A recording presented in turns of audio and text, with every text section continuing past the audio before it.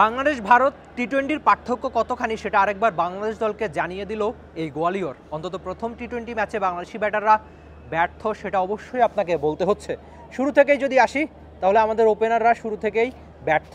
ঠিক T twenty বিশ্বকাপে যেমন ছিল, বাংলাদেশি ব্যাটাররা, বাংলাদেশি ওপেনাররা বড় পার্টনারশিপ করতে পারেনি, অন্তত ভারতের সঙ্গে প্রথম টি টোয়েন্টিতেও একই রকম। আমরা প্রায়শই বিপিএল আইপিএলের পার্থক্যর কথা বলি না। বাংলাদেশের টি টোয়েন্টি ক্রিকেট আর ভারতের টি টোয়েন্টি ক্রিকেটের পার্থক্য যে অনেকখানি বেশি সেটা আরেকবার এই গোয়ালিয়রের প্রথম ম্যাচে টের পেল। বাংলাদেশি ব্যাটাররা বিপিএলে দারুণ পারফরমেন্স করলেও সেই পারফরমেন্স তারা জাতীয় দলে দেখাতে পারেন না। আর একই রকম আইপিএলে যারা ভালো করে থাকেন, তারাই কিন্তু ভারতের জার্সিতে দারুণ পারফরমেন্স করে থাকেন।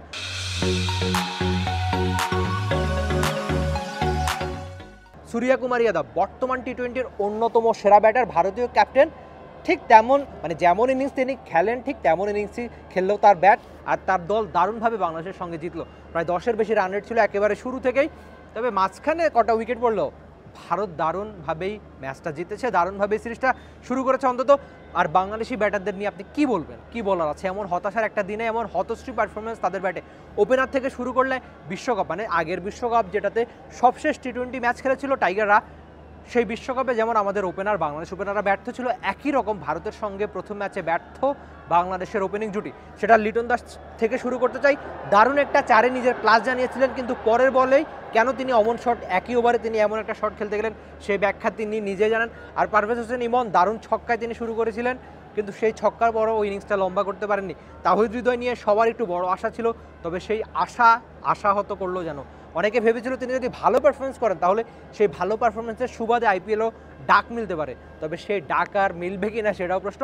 তবে প্রথম ম্যাচে তাহিদ হৃদয়ের ব্যাট হাসেনি আর এক্সপিরিয়েন্স ক্যাম্পেইনার মাহমুদুল্লাহ রিয়াদ। তা এই রিয়াদকে নিয়ে কত আলোচনা, কত সমালোচনা হচ্ছে যে ভারতে তিনি আসছেন। কিন্তু প্রথম ম্যাচে অন্তত গোয়ালিয়রের মাহমুদুল্লাহ রিয়াদের ব্যাট হাসেনি এই এক্সপিরিয়েন্স খুব দ্রুত ফিরেছেন।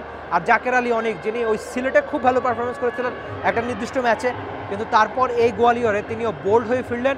অনেকটা ব্যাটারদের মতো একই রকম পারফরমেন্স তবে এখানে বোলারদের পারফরমেন্সে যাওয়ার আগে একজনের নাম একটু বিশেষ করে বলতে হয়, মাম, তিনি হচ্ছেন মেহেদি হাসান মিরাজ। অন্তত মিরাজ চেষ্টা চালিয়েছেন বাংলাদেশ। অল আউট হওয়ার আগ পর্যন্ত মিরাজের ব্যাটে সর্বোচ্চ রান তবে এমন ইনিংসের আদতে মূল্য কি?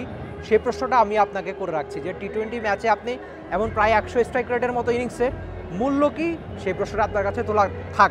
বোলারদের পারফরমেন্স খুব একটা ভালো হয়েছে সেটাও বলতে পারবেন আমাদের পেসাররা আমরা যে আশা করেছিলাম, অন্তত তাদের প্র্যাকটিস বা নিবেদন বা সম্প্রতি তারা যে ভালো পারফরমেন্স করেছেন, সেই ভালো পারফরমেন্স তারা প্রথম টি টোয়েন্টিতে করে দেখাতে পারেননি। সেটাই বোধ করি সবচেয়ে বড় হতাশা ছিল। যদিও একাধিক উইকেট পেয়েছেন কিন্তু আদতে মুস্তাফিজ তাসকিনরা যে মানের, যে মাপের বোলার তারা ম্যাচে সেটা দেখাতে পারেননি। তাই আর আদতে ব্যাটাররা যদি এত অল্প রান করে, বোলাররা কি করে ম্যাচ জেতাবে এই গোয়ালিয়রের ব্যাটিং সহ উইকেটে? তাই আইপিএল বিপিএলের পার্থক্য কিংবা বাংলাদেশ, ভারতের টি টোয়েন্টির পার্থক্য কতখানি? সেটা অন্তত টের পাওয়া গেল প্রথম টি টোয়েন্টি ম্যাচে। বাংলাদেশ কি কাম করতে পারবে পরের ম্যাচগুলোতে?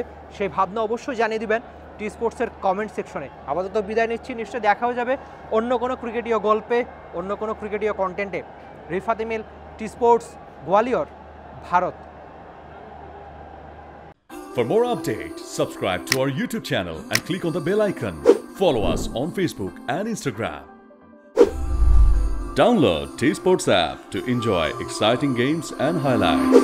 Visit tsports.com.